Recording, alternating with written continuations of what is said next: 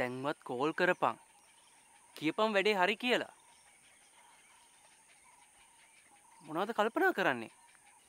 නිරෝෂ්. කවද්දාපව කොළඹයන් හිතානින් ම්ම්, අපි හෙටයන් අංකල් එහෙ තනියමනේ. මම එන්න. කවින් මෙහෙට වෙලා තනියම මොනා කරන්නද?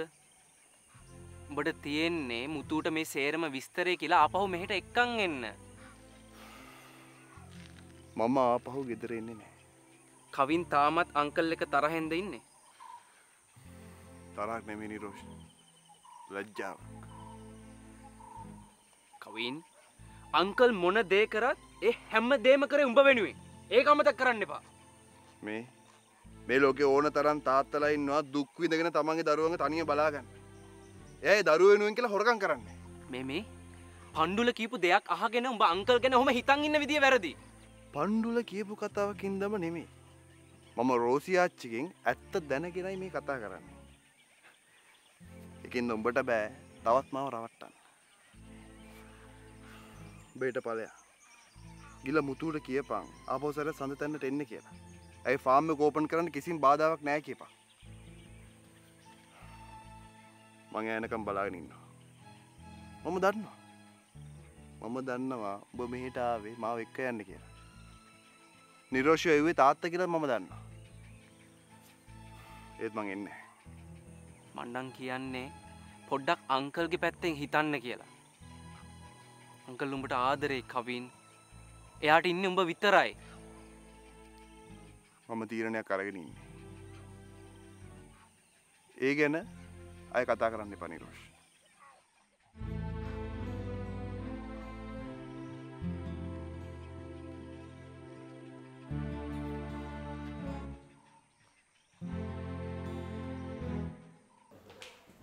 නිරෝෂ්. හරි එනෝ කියන්න ජීවන් ජීව ජීව ජීවන් තමුස දන්නවද මං හැමදාම හීන මැව්වේ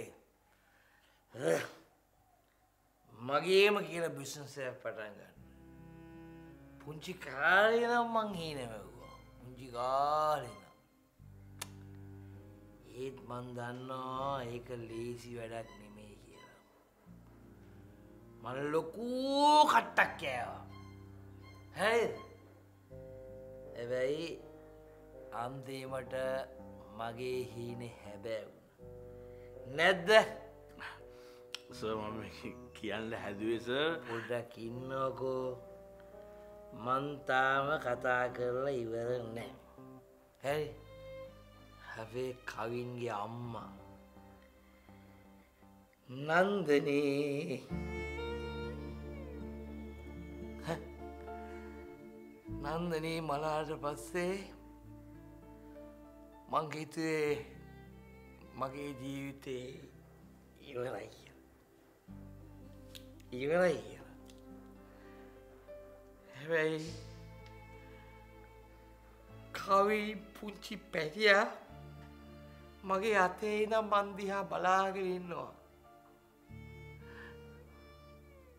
මට හිතුණා මට මාව අතහරින්න බෑ කියලා.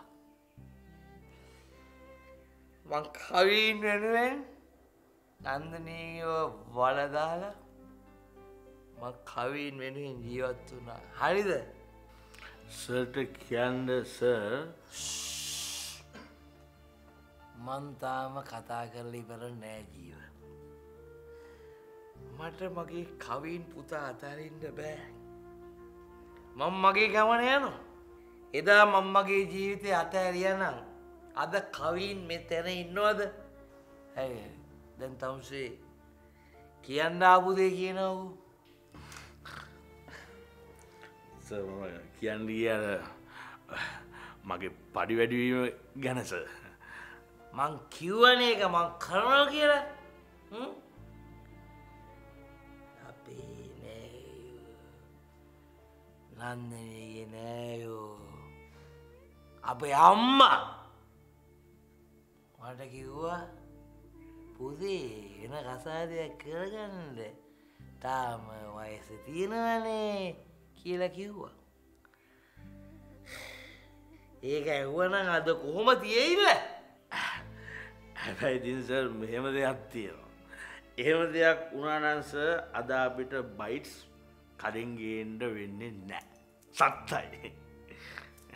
එහෙම වනානං මේ දේපොල වස්තුව කවීන්ට ගෙඩිය පිටින් ලැබෙනවද නෑනේ මට ඕනුනේ ජීවන්. අම්ම නැති දරුවා දුකක් නොදී බලාගන්න ඒ කාලේ කවීන්ගේ ඇගේ මදුරුවෙක් වැැහුවත් මං අලියෙක් ගැහුවෝගේ කලබලනවා. ඒක තමයි දරු සෙනහස කියන්නේ ජීව දරු සෙනහත එතකොට මේ ඕ කිය සෑර මගේ පලි වැඩීම ගැන ඒක හරියයිසේ ඒක හරි. ජීවන් මං කියන්නේ මගේ අතින් අඩුපාඩු වනේ නෑ කියලා. මං මේ බිස්නස් එක ගොඩනගා ගන්ඩ දිවාරෑ නොබල වැඩ කරනකොට මගේ අතින් අඩුපාඩු වෙන්න ඇති. හැබැයි මං හැම වැඩ නොකරන අද කවීන් ලංකාවට එනකොට මේ දේවල් මෙහෙම තියෙනවද? ඈ? එතකොට තාත්ත කෙනෙක් හැටියට මං ඒ කරපු දේ හරිද වැරදිද සර් අර මගේ පඩි වැඩවීම ගැන. තමුසට හොඳටම වැඩි ජීවන්න තමුස ගෙදරයන ගෙදර ගෙදර සර් අපි මේ පටන් ගත්තා විතරයි නිස ජීවන් දැන් තමුසේ යනක තමුසරත් හොඳයි මටත් හොඳයි යන යන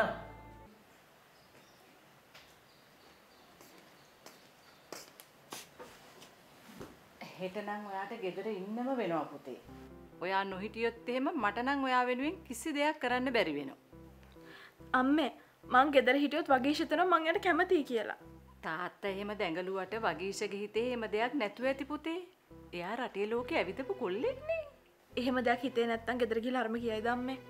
අනිත් එක පවිත්‍රාන්ටි අම්මට කතා කරන්න තු මට කතා කරයිද? ඔයා කියන දේත් ඇත්තක් නැත්තෙමත්ම නෑ. එක්ක මං හෙටම කියන්න ඕනි මං ගැන හිතන්න එපා කියලා. ඒත් ඉතින් එයා ඉස්සර නොවි මං කොහොමද කියන්නේ? හොඳම දේ පුතේ සුහදව කතා කරලා පිටත් කරන එක. මම පවිත්‍රට කියන්නම් ඔයාට බොයිෆ්‍රෙන්ඩ් කෙනෙක් ඉන්නවා කියලා. එතකොට හරිනේ. ඊට පස්සේ තාත්තට ඔක ආරංචි වුණාම තාත්තා කවින් හරි නිරෝෂ්වරයාලගෙන් ලොකු ඉෂුව එකක් හදනවා. ඒකනේ වෙන්නේ අම්මේ. ඒ ගැන දැනගන්නන් තාත්තා පවිත්‍රට කතා කරන්න එපේ. තාත්තා ඉතින් පවිත්‍රට කතා කරන්නේ නෑනේ. අම්මේ තාත්තගේ තියෙන උනන්දු හැටියට අම්මා හිතුණා තාත්තා පවිත්‍රාන්ට කතා නොකරින් දී කියලා. ඔයා UK වල යුනිවර්සිටි එකට යන්නකෝ. එතකොට හරිනේ. තාත්තා හිතන් ඉන්නේ වගේශගේ අතේ මගේ ඇප්ලිකේෂන් එක යවන්න. එයා මට වියදම් කරන්නේ මම මෙල්බන් යනවා නම් විතරයිලු. අම්මට පේනවනේ. තාත්තා මාව හිර කරන්න පුළුවන් හැම පැත්තෙම හිර කරලා තියෙන්නේ.